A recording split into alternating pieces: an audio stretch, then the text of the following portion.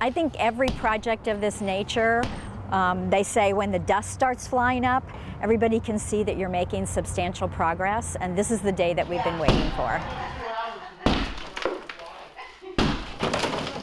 Well, we're really on the path toward completing um, the dreaming and getting started thinking of what that permanent library is going to be. So this is an interim step, but so very important. People rely on their public library every single day. We know that, we appreciate that. So very soon we'll be able to open the doors and welcome them in.